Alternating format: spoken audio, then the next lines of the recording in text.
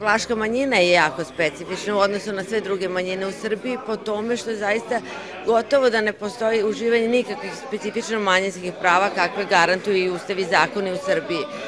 I to, smo, to je jako uočljivo dakle, na manjinskoj sceni, kako da kažem, u Srbiji i u okviru toga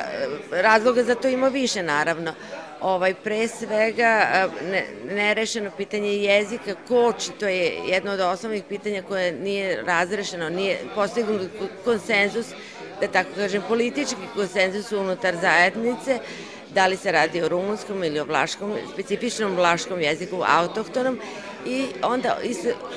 kao posledica tog nerešenog pitanja, osnovnog identitetskog pitanja, jeli, kojim jezikom, koji jezik je materni jezik ovdašnjih Vlaha, Vlaha u istočnoj Srbiji, iz toga proishodi, dakle, i kako da kažem, i institucionalno i u sadržinskom smislu e, nepostojanje e, očuvanja i razvijanja vlaške kulture u istočnoj Srbiji. I naše vojvodinske manjine, čak jedna mađarska manjina, da se razumemo koja je kao najveća manjina i najrazvijenija, kaže mi nismo tu samo da pevamo i da plešemo na TV Novom Sadu, razume se. Znate, znate, i oni imaju taj problem, ali u manjoj meri opet izražen, s obzirom da imaju institucije kulture, dakle da oni rade i na razvoju tih kultura i, e, kako da kažem, na potpomaganju institucionalnom, kadrovskom, e, e, moderne kulture, odnosno nauke u sobstvenoj zajednici,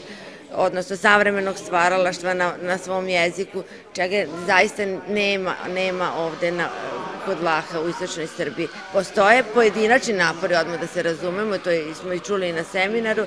ali s obzirom da nema ni jedne institucije koja će o tome sistemski brinuti, kako da kažem, na duže staze napraviti nekakvu strategiju, ovaj, ti su, to ostaje unutar